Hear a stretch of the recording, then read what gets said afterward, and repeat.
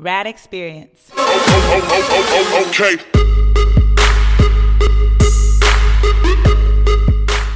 Hey, what's up, y'all? It's Robbie from Rad Experience. So, I don't know if you're going for the Seahawks or for the Broncos, but I think you should probably join Team Rad.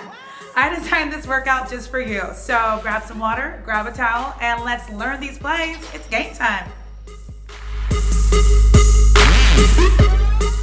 All right, here we go. Play number one. Okay, so get into a super deep squat and then let those feet move so fast like they're on fire. Then drop straight down to the ground into a burpee.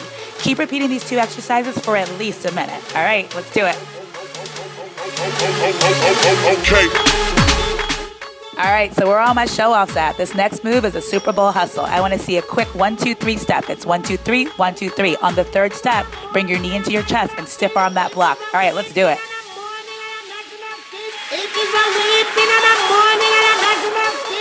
So what's up? I'll give you an extra point if you attempt these field goal lunges. Super simple. Hands are straight up right by your ears and you're dropping your knee literally almost to the ground.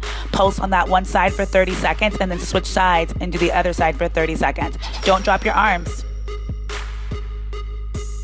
All right, let's get down the floor for this Bronco Boogie. I love this move. It is so buff, just like a Bronco. So kick your legs out, use your core. Then you're gonna shoot your leg through, and the arm comes up using your core there too. Make this smooth, make it fluid, and make it look good. Here we go. Are you still standing there? Get down here with me. All right, here we are, y'all. Last play a Seahawk sit up. Lay on the floor, spread those wings. Legs are a little bit off the ground.